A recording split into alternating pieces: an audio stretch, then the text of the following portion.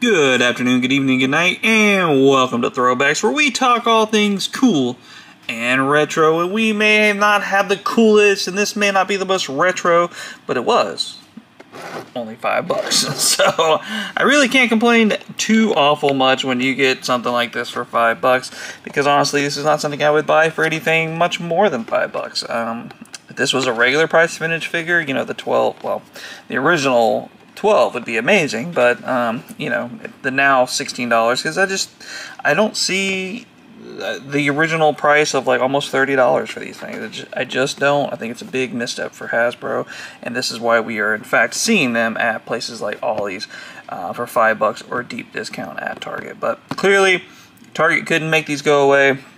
But Ollie's did a good job and is making this go away. Um, for me, this is all about this box right here, and that is the accessories. Um, the new Grogu, whatever, that's fine. Um, looks like it comes with like some rocks or some floating rocks or something, but we'll get that when we get in here. Um, but the big boy is the owl, um, you know, from Rebels fame, stuff like that. Um, so very cool. I can't remember exactly what it's called, but all the same. The owl is the big selling point for me, and that alone is worth five bucks. So let's go ahead and make sure that we got our money's worth here with this $5 Star Wars The Mandalorian, Ahsoka Tano, and of course, little baby Grogu. But as I said, we all know it's about the owl here. We all know what's going on. I'm not going to be nice about it. Let's just get in there. Rip this bad boy open. Find our little coffin figure here make sure everything's out of there, because I think actually the other day I might have accidentally thrown away a, a thing, so that wasn't a big deal. Alright, let's get Ahsoka out of here. Come on. Come on out and play, Miss Ahsoka Tano. Little coffin of goodies Coffin of goodies. All apart on me. Big mess, big mess, big mess. Alright, let's go ahead and drop this down so we can see it. Let's get Ahsoka out of the way so the camera won't overly focus on her. Of good, lots of good. Check the bag, which, oh, see, there, found something else. Hiding in the bag, come on. Be free, come on, there we go.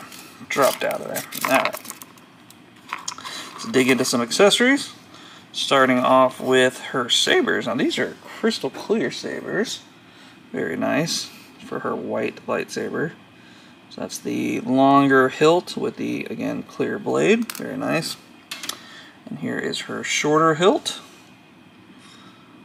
Very nice. Get you a nice cool zoom there. Very good. Pretty cool. Really dig the clear look there. Let's really put these thing. Let's really put this new high-speed camera to the to the test here on these. All right, excuse my nails there. All right, come on. So this is the little floating pebble that uh, they're they're uh, kind of throwing back and forth between um, Grogu and the Mandalorian. And this is the little ball thing that he really loves from the ship. Uh, a nice touch, you know, definitely a nice accessory piece. Definitely one of those things that you got to put on a shelf and, and just kind of forget about it and hope that it never goes anywhere else. Um, nice throw in, which they didn't have to do, I think, for this pack, is the uh, lamp that uh, they're sitting around um, using this for obvious light and things like that. So pretty cool there.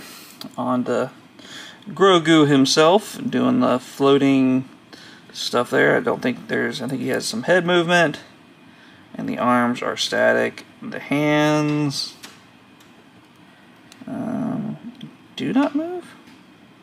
They're so small it's hard to tell. Do not move. So there's your baby Grogu.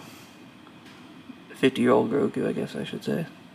Looks really good actually in the face. Pretty nice face sculpt there.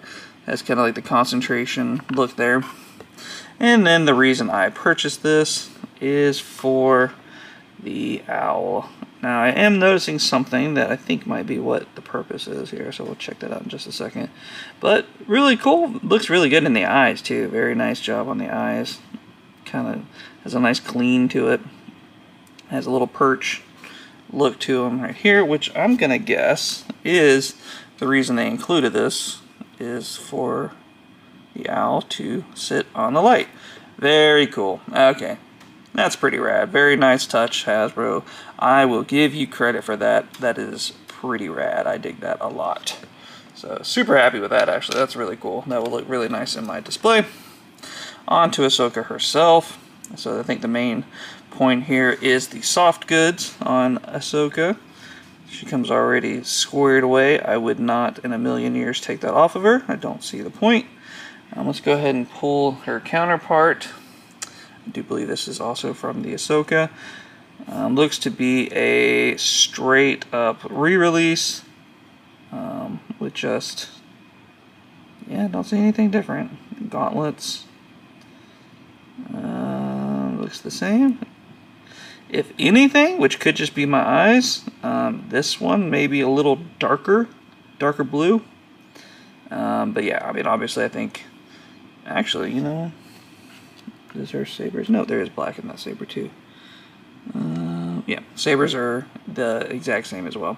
I almost thought there were some color differences, but nope, there's not. So this is the original release. Obviously, I'm going to go ahead and switch it out with this one just to have the soft goods um, accessory there. But all in all, I think this is obviously just a repack, same paint, all that good stuff with just um, the soft goods. But as I said, I think the main selling point here is the owl, and I guess in this case it's a little uh, light perch. So it is a pretty cool touch and one that I will gladly add to my collection. But I think that's going to be it for us here at Throwbacks today. But uh, appreciate you guys hanging out. Have you guys been hitting up all Ollie's? I know they got a restock of a bunch of fun stuff, Marvel Legends, uh, I think even people have been seeing some wrestlers, some Star Wars, things like that. Have you guys been checking it out? Have you been lucky enough to find some good stuff? When I went, this is really about all I was able to find. But I guess for five bucks, I cannot be upset about it. I got a one to keep on card and one to open here with you guys. But I think that's going to be it. So for myself and Uncle BJ, it's time to throw one back. And we'll see you all next time.